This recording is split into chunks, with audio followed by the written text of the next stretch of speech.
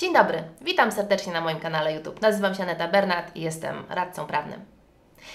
Czy zawsze, kiedy druga strona, w przypadku kiedy chcesz korzystać z usługi, prosi Cię o Twój dowód osobisty celem jego skopiowania, musisz wyrażać na to zgodę? Czy zawsze przedsiębiorca chcący skserować Twój dowód osobisty działa zgodnie z prawem? Zapraszam do oglądania odcinka. Nadchodzi czas naszego upragnionego urlopu. Wyjeżdżamy w góry, stok narciarski, narty. Chcemy wypożyczyć sprzęt narciarski. Narty, snowboard. Udajemy się do wypożyczalni i wtedy spotykamy się z pytaniem, właściwie z żądaniem. Poproszę o Pani, Pana dowód osobisty. Po co? Celem skserowania, nie okazania, celem skserowania. Czy wypożyczalnia nart, sprzętu sportowego ma prawo prosić nas o dowód osobisty celem jego skserowania? Dowód osobisty zawiera szereg danych osobowych, które są chronione. Ich przetwarzanie jest chronione przez prawo, ogólnie mówiąc przez RODO.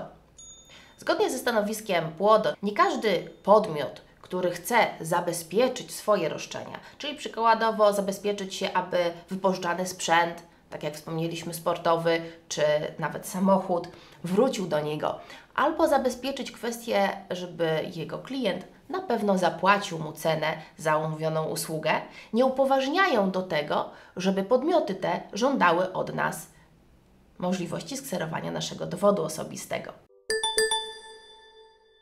Na mocy odrębnych przepisów, jak ustawa o przeciwdziałaniu praniu pieniędzy przykładowo, są instytucje, które mają prawo skserować i przetwarzać nasze dane osobowe zawarte w dowodzie osobistym.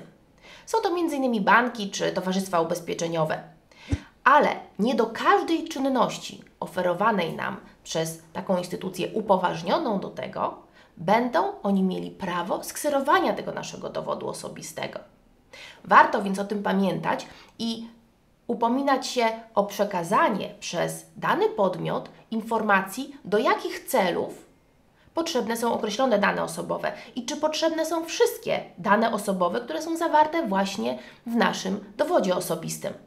Dlatego, zgodnie z zasadą minimalizacji obowiązującą w RODO, podmiot, który zbiera dane i będzie je dalej przetwarzał, musi zbierać tych danych jak najmniej, tylko te, które są niezbędne do świadczenia usługi, do wywiązania się z nałożonych na niego przepisów prawa.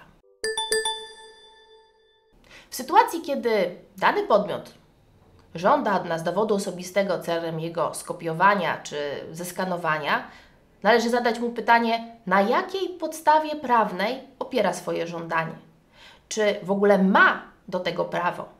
Bo jeżeli ktoś stwierdzi, że chce zeskanować czy skopiować nasz dowód osobisty i opiera się na e, uzasadnionym swoim interesie prawnym, to jest to za mało. Jest to nadmiarowe zbieranie tych danych osobowych. Po drugie, jak długo on będzie je przetwarzał? W jakim celu on je będzie przetwarzał? Pamiętajmy, że możemy się nie zgodzić, bo tutaj mamy pułapkę. Zawsze, kiedy wyrazimy zgodę, może okazać się, że ten przedsiębiorca przetwarza te nasze dane osobowe właśnie na podstawie naszej zgody. Ale dalej nie powoduje to legalizacji przetwarzania tych nadmiarowych danych osobowych. Imię, nazwisko, PESEL, numer dowodu osobistego, nasz wzrost, kolor oczu i do tego nasze zdjęcie.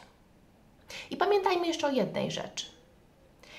Niektórzy mówią, że kserowanie dowodu jest karalne.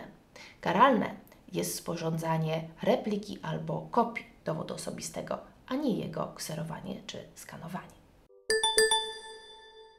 Osobiście spotkała mnie sytuacja, w której chcąc skorzystać dla mojego dziecka z atrakcji wodnej dmuchańca, poszliśmy kupić bilet. Pani w okienku poprosiła mnie o dowód osobisty celem jego skserowania.